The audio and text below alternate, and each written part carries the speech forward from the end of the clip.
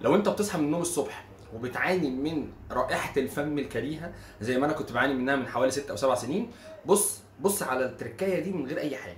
لو انت عندك فرشة سنان بسيطة جدا وعندك شوية معجون بسيط جدا. اغسل سنانك بالمعجون خالص مفيش اي مشكلة. واغسل الفرشة خالص وطلع لسانك واغسل لسانك كتير.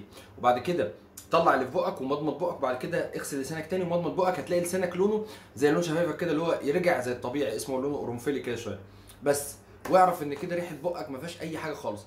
لسانك بيتركز عليه أكتر من البكتيريا اللي بتركز على السنان نفسها. شكرا جدا ليكم وأتمنى أتمنى تكون المعلومة دي فادتكم. ما تنساش تعمل لايك وتشترك معايا في القناة. السلام عليكم.